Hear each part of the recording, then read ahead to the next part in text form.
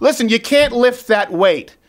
At some point in your life, you're going to die. You are sick. Your marriage has problems. You're dropping the ball at certain aspects of your job, or as a father, or as a husband. You've made promises to yourself that you haven't kept. That's reality. And to tell yourself that failure is not an option is to consistently live in a state of denying reality. It's delusional by definition. Mug clubs for closers. So, something I do want to talk, and I've talked about this before, but I think it's more relevant than ever, is this mantra that I hear a lot, and I think it's incredible. I hate to use the word toxic now. These terms have been co opted, but it really is toxic. The idea that failure is not an option. You hear that a lot. Failure is not an option. Um, well, right now, this is an example. We're talking about this. We're fighting Facebook, Disney, ABC, the Academy. I don't even know if they are Disney, ABC. Uh, internal battles. Of course, we have battles with well known battles with YouTube. This has been going on for a long time, and it is. I want to say sometimes it feels insurmountable, uh, and I'll come back to this. Sometimes, of course, I want to pack up and go home. Uh, it has been a very, very trying week, and you know, you know, Hopper's been sick. He's been doing very well. Thank you so much for your comments. Uh, I'm not at the top of my health game right now, but let me just tell you something. Um, failure is absolutely an option. I know that. I've talked about this a lot, but I'd like to put a finer point on it. Um, a good example recently, I was watching television and I saw a commercial that mentioned uh, Huntsville, Alabama, you know, Rocket City, USA. And the man in the commercial was talking about how failure failure was not an option. Now, here's the thing: I understand where he's coming from. I'm not saying that rocket scientists, NASA, whoever this guy was, is being dishonest. He's effectively trying to express the importance of the task and the severity of the failure therein. Okay, someone could die, something could blow up. I appreciate the accountability being expressed in the sentiment. So do not get mad. Don't say you're attacking NASA. That's not what I'm doing here. But I disagree with the phrase. And I think it's one we need to do away with. I certainly would encourage you to do away with it in your personal life, mainly because I see so many people use it as a personal mantra. Failure is not an option. Failure is not an option. Failure is not an option. Kind of like an I think I can, I think I can, I think I can.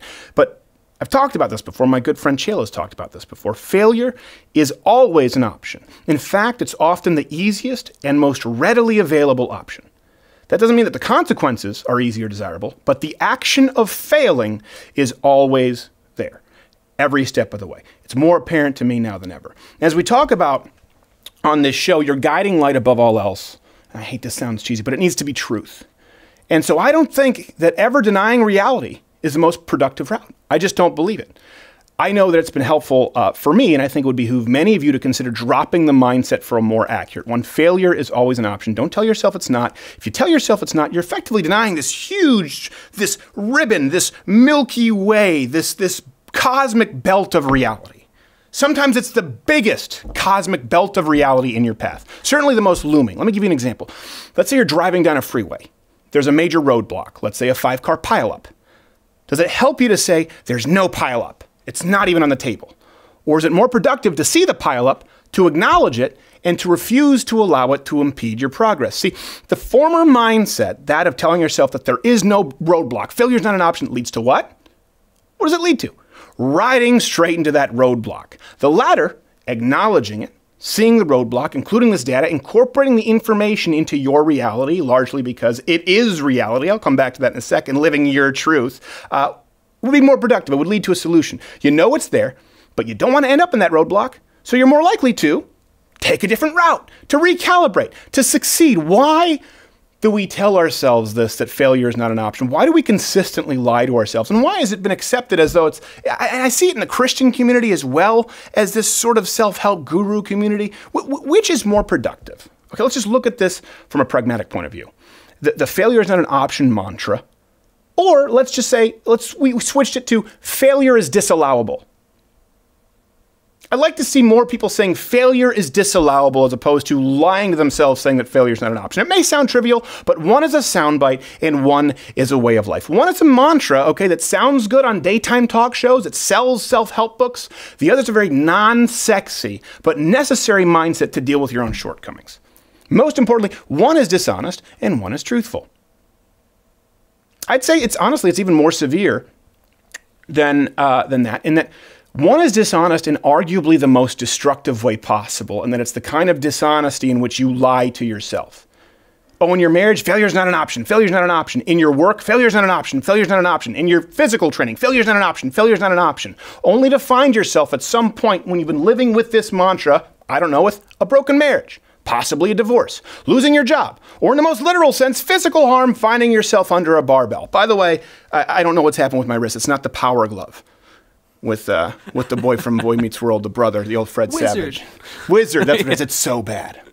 And by the way, that's why I believe that physical training is so important. A lot of people say, "Oh, you're a meathead." No, uh, sometimes experiencing the most literal strain possible tells you a lot about yourself, a lot about your place in this world, and how you interact with it. So do me a favor. We do this every week, and often you you, you tweet me or you send me messages, and it ends up on uh, the Mug Club Life Advice segment. Do me a favor. Run this experiment.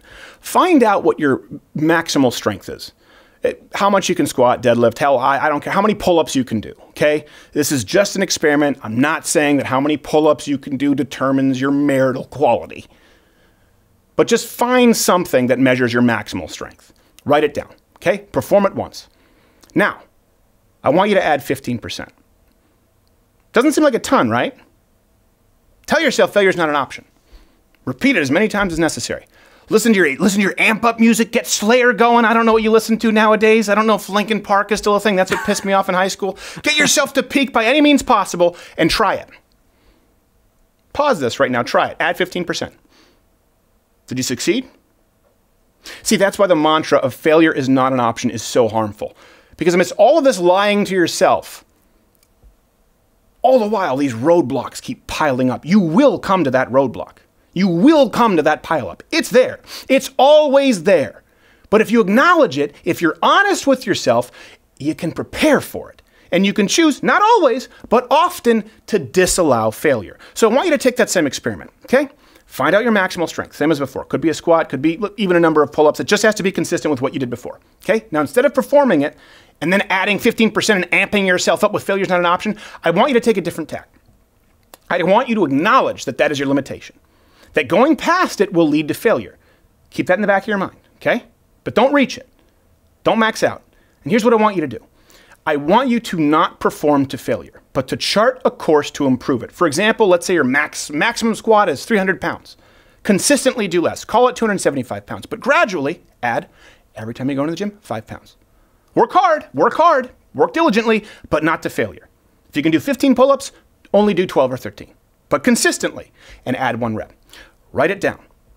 And then I want you to come back and note when you surpass your previous limit. I guarantee you, this is a promise, okay? Not an empty promise. I guarantee you that using that method, you will surpass it. And you'll probably be surprised by how quickly it happens. Now, this experiment here, it's not about lifting weights. It's to show you that one way of doing things, the failure is not an option, doesn't work. You can try and move that weight, shove and heave and strain all you want. You will be no closer, 0% closer to achieving growth than you were when you started. The other, while not sexy, very workmanlike, it's not a show horse, it's a Clydesdale, will lead to breakthrough. The breakthrough you were seeking in the first place. It's a great irony in life that these triumphant, these grandiose ways that we try to achieve our breakthroughs, they're usually the ones that keep us from achieving them. Because it's the preparation that matters. It's the in betweens, like I've talked about. It's the unsexy measures we take when no one is watching, when the excitement's worn off, and failure is always an option in the back of our mind. See, one, the failure is not an option, is effectively uh, the false mantra of living your truth. That's why I think I hate it so much. Whereas the decision to acknowledge failure as an option, but disallowing it to determine your long term circumstances is the equivalent to living in the truth. I don't think there's anything sillier than saying this, I'm speaking my truth. That's a hedge to say, you could be a liar. That's what you could be saying. Sorry, Quarter Black Gerald has to hit the, the censor button. I'm a little pissed off this week. I don't really care. I've let it fly. I'll, I'll reset. I'll recalibrate next week because I realize failure with my vocabulary is an option. But what does living your truth mean if you're not living in the truth? There is absolute truth. And sometimes your truth and the truth are incongruent. As a matter of fact, I'd wager more often than not, because often the truth is really uncomfortable. But guess what? The truth is always there. It's always there. And if your truth isn't the truth, it's going to hit you like a brick in the face. Maybe not today, maybe not tomorrow. Sooner or later, the truth is coming from you. I say from you or for you, I don't care. Live life without limits. That's another bumper sticker that I saw. I'm trying going, going off course. Live life without limits. Someone has this, this bumper sticker show like they were climbing on a summit. What the hell does that mean? What does that mean? The truth is you have limits. I'm a rock. No, you're a human and you're breakable. We all are. where people lie to themselves when they're sick. How many times do you know these people, the positive speaking bullcrap? I understand you don't want to be a negative Nancy, but you know, no, I'm not sick. I don't get sick. I'm going to speak over myself. I'm not sick. And they cough up a lung. Listen, you can't lift that weight. At some point in your life, you're going to die. You are sick. Your marriage has problems. You're dropping the ball at certain aspects of your job, or as a father, or as a husband. You've made promises to yourself that you haven't kept. That's reality. And to tell yourself that failure is not an option is to consistently live in a state of denying reality. It's delusional by definition.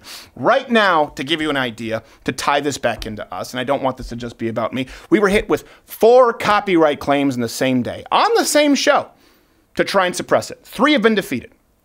They're just biding their time on the fourth, hoping that the Oscars will no longer be relevant and that you don't watch it when it's available. Please prove them wrong. We're currently preparing for an epic legal war with Facebook, one that will test the integrity and fortitude not only of myself, but everyone on this team. Also, you. How long will you stick it out?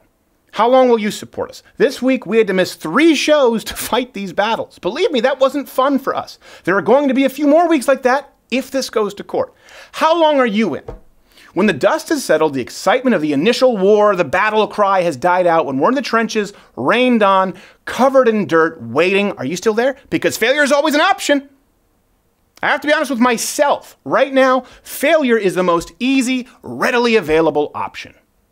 I'm not a rock. I'm not a man without limits. I'm a very limited man who is fallible and breakable. It'd be a lot easier to fail right now because rather than continuing, rather than reinvesting and creating, for the unheard majority of Americans, you, the international fans out there, I know we have a lot of Canadian Greek Orthodox, Pantelis just ta- told me this, uh, I could collect my marbles that I've gained thus far right now and go home. Even more, I'm at a point right now where I know that the f- that failure of this program, of this movement, of your movement right now, is uh, a much more easy option today than it will be once we're in this fight. Because once we're in this fight, we can't unring that bell.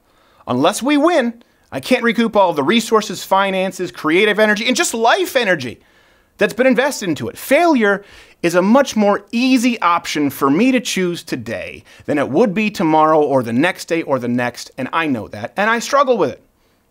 I could lie to you, I struggle with it all the time. There are times where I come really close to calling it and packing it in. To deny that, to lie to myself, and, and, to lie to you about it for the sake of an some kind of inspirational soundbite would not only be dishonest, it would cloud my judgment to the decisions that I have to make for all of us moving forward. It would also belittle, by the way, the magnitude of what you've done for me. You, the listener, the viewer, for us. The truth is that you've helped us build something so impactful, so important to such a multitude of people that the walls are closing in, tempting us by providing the option of failure. That's where we are right now. Failure is a, would be a relief. Failure is an option. I'm not going to lie to you. I go a step further and say not only an option, it's a very possible outcome. That's why it's at the front of my mind. I want it to be at the front of yours. Because then we're all on the same page, knowing that right now, at this moment in history, we all have a decision to make. We can choose failure right now. We can choose easy right now. And it's available, it's right there. We can choose relief. We can choose peace through failure right now. Or we can choose to go through the hard door. And this may not be as inspirational. It may not sell as many books, but I can promise you this so long as you, all of you watching, listening, streaming, choose to go through those hard doorways, those thresholds, meaning many doorway after doorway after doorway. So long as you keep choosing to do that with us, I promise you so will I. You tell me, are you in? Comment, let me know. If you're in, I am. To the rest of you, fill your hands, you son of a For everyone else, there's Mug Club. Hey there, if you like this video, subscribe to the channel or hit the notification bell. Do it. I'll wait a second. Do you hear that little. It actually didn't make a ding sound. I just did it. It happened while my mouth was doing it, and you thought it was coming from your computer. Uh, so that's fun. Also, there's some videos playing in these boxes next to me. Go watch those. You might enjoy them. You might not. I don't care.